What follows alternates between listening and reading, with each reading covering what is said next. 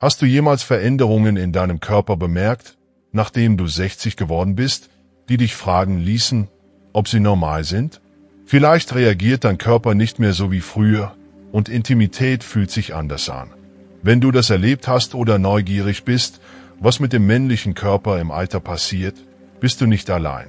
Das ist ein natürlicher Teil des Lebens und heute gehen wir tief darauf ein, wie diese Veränderungen das männliche Glied nach 60 beeinflussen und was du tun kannst, um ein erfüllendes intimes Leben zu führen. Wenn du noch nicht abonniert hast, abonniere und aktiviere die Benachrichtigungsglocke, damit du keine Videos verpasst. Deine Unterstützung bedeutet mir viel. Und wenn dir dieses Video gefallen hat, kannst du mir helfen, weiterhin wertvolle Lektionen zu verbreiten, indem du es likest und teilst. Der menschliche Körper ist ein lebendiges, atmendes Zeugnis für den Verlauf der Zeit. Von dem Moment an, in dem wir unseren ersten Atemzug nehmen, bis wir unseren letzten ziehen, durchlaufen wir einen komplexen Wandel der Veränderung und Transformation. Jede Zelle, jedes Gewebe, jeder Teil von uns entwickelt sich mit dem Alter. Einige Veränderungen sind subtil, andere sind tiefgreifender, und das männliche Glied ist da keine Ausnahme. Aber was können Männer wirklich nach dem 60. Lebensjahr erwarten? Sind die Veränderungen, die du bemerkst, Teil der natürlichen Ordnung oder gibt es Grund zur Besorgnis? Und vielleicht am wichtigsten, wie kannst du nicht nur eine funktionale, sondern ein wirklich erfüllendes, sinnvolles und befriedigendes intimes Leben aufrechterhalten, angesichts dieser unvermeidlichen Transformationen? Lass uns diese tief persönliche und doch universelle Reise erkunden. Eine der ersten und auffälligsten Veränderungen, die viele Männer im Alter erleben, ist ein allmählicher Verlust an Elastizität in ihrem Körper. Dies betrifft alles, von deinen Muskeln über deine Haut bis hin zum männlichen Glied. Im Laufe der Jahre werden diese einst geschmeidigen und flexiblen Gewebe weniger elastisch. Es ist nicht nur eine Veränderung, die da unten passiert, es ist Teil des gesamten Alterungsprozesses. Du wirst es an der Art und Weise bemerken, wie deine Muskeln an Spannkraft verlieren, wie deine Haut dünner wird und sogar wie sich dein Körper bewegt. Es ist die natürliche Folge des Älterwerdens, aber es kann sich dennoch sehr persönlich anfühlen, ja sogar beunruhigend, wenn es um deine sexuelle Gesundheit geht. Die Haut rund um das männliche Glied wird, wie die Haut über deinen gesamten Körper, im Laufe der Zeit dünner und weniger elastisch. Dieser Verlust an Elastizität kann sich direkt auf die Festigkeit und Steifheit auswirken, die während der Intimität erlebt werden. Wo du vorher vielleicht mit wenig Aufwand eine Erektion erreichen und diese so lange aufrechterhalten konntest, kann es nach dem 60. Lebensjahr anders werden. Der Prozess der Erregung kann langsamer werden und Erektionen sind möglicherweise nicht mehr so fest oder langanhaltend wie früher. Es ist wichtig, diese Veränderungen ohne Angst oder Scham anzuerkennen. Es ist ein Teil des Lebens, ein tief menschlicher Teil des Lebens, und das Verständnis dafür kann helfen, einige der emotionalen Belastungen zu mindern, die oft mit dieser Phase einhergehen. Eine der entscheidenden biologischen Veränderungen, die für diese Verschiebungen verantwortlich ist, ist die Blutzirkulation. Mit zunehmendem Alter, insbesondere nach dem 60. Lebensjahr, verringert sich die Effizienz unseres Blutflusses. Das Blut fließt einfach nicht mehr so kräftig oder reibungslos durch unsere Venen wie in unserer Jugend. In Bezug auf die Intimität kann dies besonders auffällig sein. Das Blut, das die Corpora cavernosa, das schwammige Gewebe im männlichen Glied, das sich während der Erregung aufbläht, füllt, kommt mit weniger Kraft an. Darüber hinaus werden die Wände der Blutgefäße, die für diesen Prozess verantwortlich sind, im Laufe der Zeit auf steifer, ein Zustand, der als Atherosklerose bekannt ist.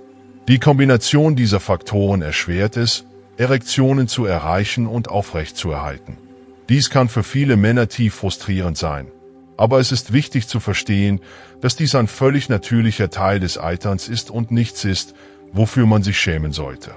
Je mehr wir unsere Körper verstehen, desto besser sind wir in der Lage, Wege zu finden, uns anzupassen und weiterhin ein reichhaltiges und erfüllendes intimes Leben zu genießen. Erektile Dysfunktion ist eines der häufigsten Probleme, mit denen Männer im Alter konfrontiert sind, insbesondere nach dem 60. Lebensjahr. Laut medizinischer Forschung erleben zwischen 40% und 70% der Männer in diesem Altersbereich eine Form von erektiler Dysfunktion. Das ist eine erstaunliche Zahl. Und es kann beängstigend oder sogar einschüchternd wirken, zu denken, dass dies Teil deiner Erfahrung werden könnte. Es ist jedoch entscheidend, sich daran zu erinnern, dass erektile Dysfunktion nicht das Ende deines intimen Lebens markiert. Es ist kein Todesurteil für dein sexuelles Wohlbefinden. Ja, es kann ein herausforderndes Problem sein, aber es kann mit den richtigen Werkzeugen, der richtigen Einstellung und Unterstützung bewältigt werden. Von medizinischen Eingriffen über Lebensstiländerungen bis hin zu psychischer Unterstützung gibt es unzählige Möglichkeiten, erektile Dysfunktion anzugehen und weiterhin eine befriedigende intime Beziehung zu genießen. Im Kern ist erektile Dysfunktion ein vielschichtiges Problem. Es geht nicht nur um körperliche Leistung, es geht auch um emotionale und psychische Gesundheit. Die Angst, seine Potenz zu verlieren, kann schwer auf dem Geist eines Mannes lasten und zu Angstzuständen, Stress und sogar Depressionen führen. Diese emotionalen Reaktionen können wiederum die Situation verschlimmern und einen Kreislauf der Frustration schaffen. Aber es ist wichtig, diesen Kreislauf zu durchbrechen, indem man Hilfe sucht und offen über seinen sich verändernden Körper spricht. Intimität geht weit über körperliche Leistung hinaus, es geht um Verbindung, Verwundbarkeit und gemeinsame Erfahrungen mit deinem Partner. Und in deinen späteren Jahren können diese Elemente noch tiefere Bedeutung gewinnen. Statt sich ausschließlich darauf zu konzentrieren, was dein Körper kann oder nicht kann, umarme die emotionale Tiefe und Nähe, die Intimität bringen kann. Dort liegt das wahre Glück, unabhängig vom Alter. Wenn du dieses Video immer noch schaust und diese Lektionen nützlich findest, Hinterlasse bitte die Nummer 1 in den Kommentaren, um mir mitzuteilen, dass du dieses Video noch mit mir anschaust. Ein weiterer bedeutender Faktor, der den männlichen Körper nach 60 beeinflusst, ist der allmähliche Rückgang der Testosteronwerte. Testosteron wird oft als das Hormon betrachtet, das Männlichkeit definiert, es ist verantwortlich für sexuelles Verlangen, Energieniveaus, Muskelmasse und vieles mehr. Ab den 40 Jahren beginnen die Testosteronwerte zu sinken aber nach 60 wird der Rückgang deutlicher. Dieser Rückgang kann zu einem verminderten sexuellen Verlangen führen, was oft dazu führt, dass Männer weniger Interesse an Intimität haben als in ihren jüngeren Jahren. Das brennende Verlangen, das einst allgegenwärtig zu sein schien, kann zu flackern beginnen und die Häufigkeit sexueller Begegnungen kann abnehmen. Aber hier ist der entscheidende Punkt. Nur weil das Verlangen nicht mehr so stark ist, heißt das nicht, dass das Vergnügen, die Zufriedenheit oder das Bedürfnis nach Intimität verschwindet. Ganz im Gegenteil. Diese Lebensphase lädt Männer ein, ihre Beziehung zur Intimität neu zu überdenken und zu definieren. Es geht nicht mehr um die rohe körperliche Präsenz der Jugend. Stattdessen wird es zu einer Gelegenheit, auf einer tieferen emotionalen und sogar spirituellen Ebene mit deinem Partner zu verbinden. Es geht um gemeinsame Momente, Nähe und das Vergnügen, einander zu verstehen und wirklich kennenzulernen. Der körperliche Akt des Geschlechtsverkehrs kann sich verändern, aber die Freude, die Verbindung und die Zufriedenheit, die Intimität bringt, können in den späteren Jahren sogar noch tiefgreifender sein. Es gibt eine Zärtlichkeit und Fülle der Intimität im Alter, die jüngere Männer vielleicht noch nicht verstehen. Die Vorstellung, dass Intimität mit dem Alter verblassen muss, ist ein Mythos, ein schädlicher noch dazu. Altern bedeutet nicht das Ende deines Sexuallebens. Stattdessen ist es ein neues Kapitel, in dem du Liebe, Verbindung und Zufriedenheit auf eine Weise erleben kannst, die dich überraschen könnte. Sicher, dein Körper verändert sich, aber diese Veränderungen bringen mit sich die Möglichkeit, neue Formen der Nähe mit deinem Partner zu erkunden. Ob durch körperliche Intimität, emotionale Bindung oder einfach durch ruhige Momente miteinander, Intimität erhält eine ganz neue Bedeutung. Schließlich möchte ich die Bedeutung des Suchens nach Unterstützung betonen. Leid nicht in Schweigen. Ob es darum geht, mit einem Arzt über erektile Dysfunktion zu sprechen oder mit deinem Partner über deine sich verändernden Bedürfnisse und Wünsche zu reden, Kommunikation ist der Schlüssel. Viele Männer fühlen sich verlegen oder beschämt, zuzugeben, dass sie kämpfen, aber die Wahrheit ist, dass sich der Körper eines jeden mit dem Alter verändert. Je offener du sein kannst, sowohl mit dir selbst als auch mit den Menschen um dich herum, desto erfüllender kann dein intimes Leben werden. Es gibt Lösungen und es gibt keinen Grund, sich dafür zu schämen. Hier kommt die tiefgreifende Bedeutung des Lernens, deine Sexualität wieder zu entdecken, wirklich zum Tragen. Intimität nach 60 wird weniger impulsiv und mehr durch die Tiefe der emotionalen Verbindung geprägt. Während es einfach ist, sich auf die physischen Aspekte zu konzentrieren, bietet diese Lebensphase eine wunderschöne Gelegenheit, neue Formen der Intimität zu erkunden, bei denen Vergnügen nicht mehr ausschließlich an der Steifigkeit des männlichen Gliedes gemessen wird, sondern an der Qualität des Bandes, das du mit deinem Partner teilst. Es geht um Zärtlichkeit, Verständnis und emotionale Nähe, die vielleicht im Eifer der Jugend übersehen wurden. Dies ist eine Zeit, in der intime Handlungen sich in etwas weit bedeutenderes, bereicherndes und tiefgründigeres verwandeln können. Die Wahrheit ist, Intimität in deinen späteren Jahren kann unglaublich belohnend sein, sogar mehr als in deinen jüngeren, körperlich getriebenen Tagen. Es geht um die kleinen Dinge, eine Berührung, ein Blick, ein stiller, geteilter Moment. Diese Momente der Verbindung gewinnen an Bedeutung und ermöglichen es dir, eine Intimität zu erleben, die über das Physische hinausgeht und in die emotionalen und sogar spirituellen Bereiche eintaucht. Es ist eine Gelegenheit, gesellschaftliche Zwänge und unrealistische Leistungsstandards loszulassen und stattdessen den Reichtum gemeinsamer Erfahrungen und emotionaler Verwundbarkeit zu umarmen. Es ist jedoch nicht ungewöhnlich, dass Männer mit dem Alter eine Abnahme der Empfindlichkeit des Gliedes bemerken. Diese Veränderung kann anfangs beunruhigend sein. Die vertraute Intensität der körperlichen Empfindungen kann beginnen zu schwinden. Und das, was einst leicht fiel, den Höhepunkt zu erreichen, kann mehr Zeit in Anspruch nehmen oder mehr Aufwand erfordern. Einige Männer stellen fest, dass das Vergnügen, das sie empfinden, anders ist, vielleicht weniger scharf oder intensiv als in den vorherigen Jahren. Dieser Wandel in der Empfindung ist teilweise auf die natürlichen Veränderungen in der Elastizität und Blutzirkulation zurückzuführen, wird aber auch durch die Abnahme der Nervenenden beeinflusst, während der Körper eitert. Diese Nervenenden die einst zu einer erhöhten Empfindlichkeit beitrugen, nehmen allmählich ab, was es schwieriger macht, Reize mit der gleichen Intensität wahrzunehmen.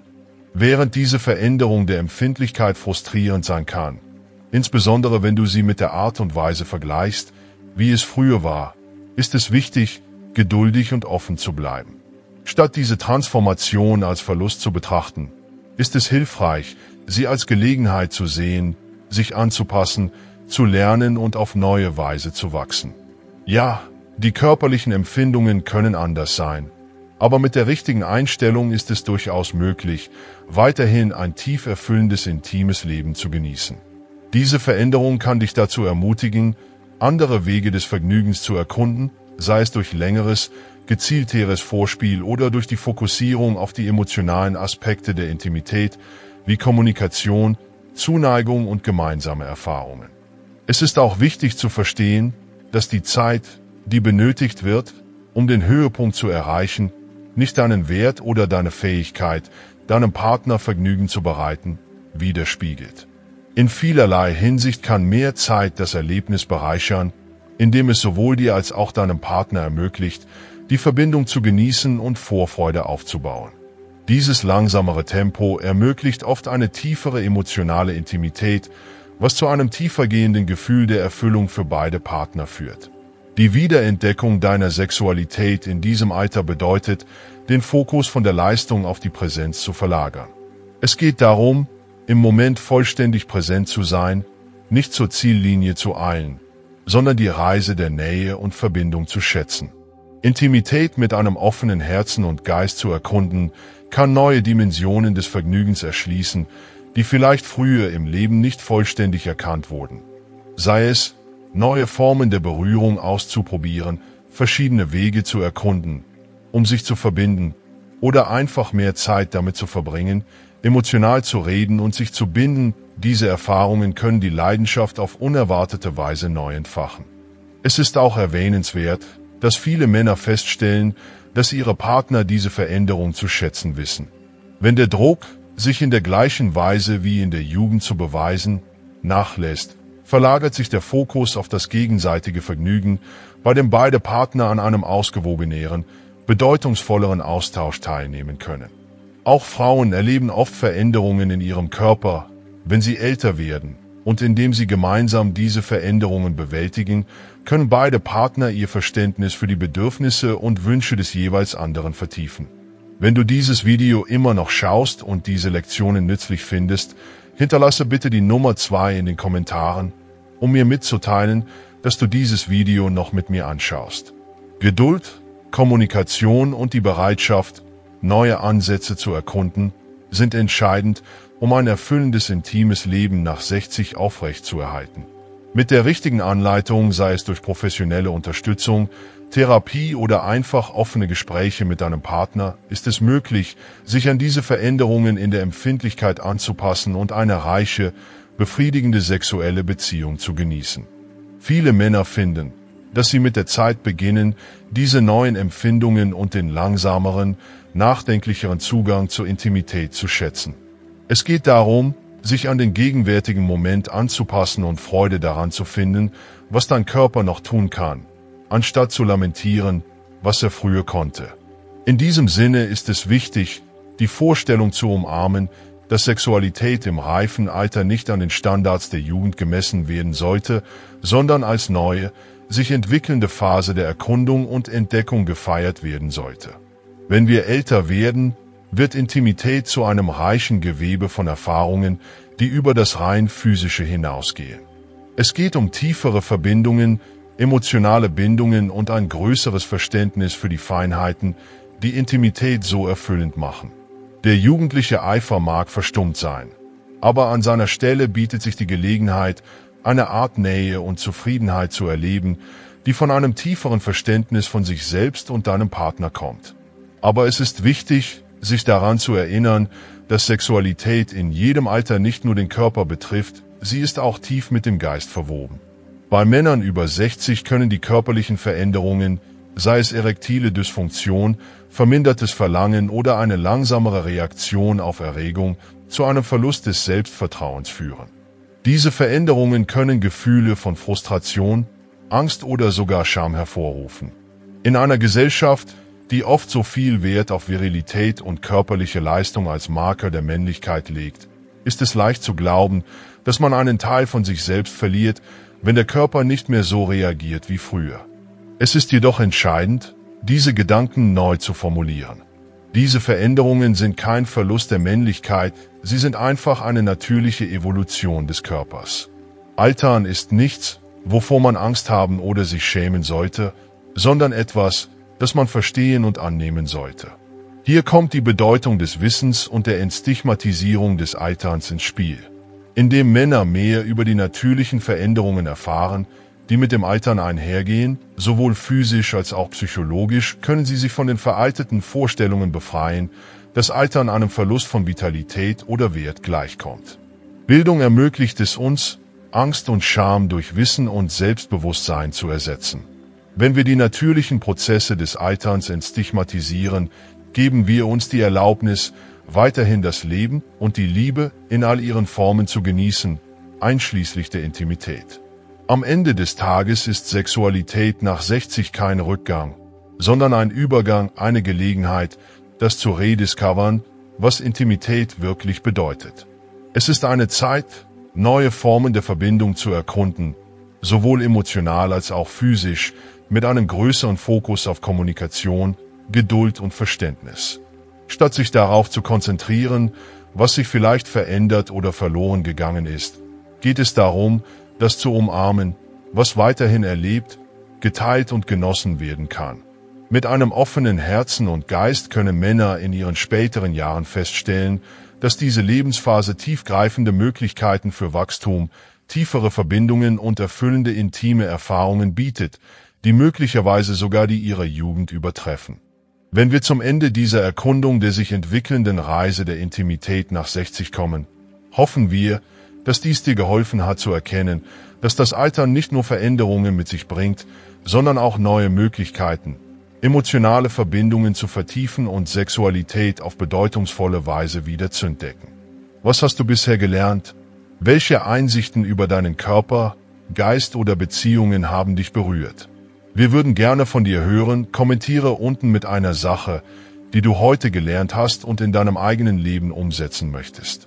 Wenn du dieses Video hilfreich fandest, teile bitte deine Gedanken in den Kommentaren unten.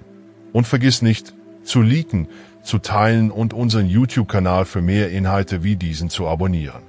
Deine Unterstützung bedeutet uns die Welt.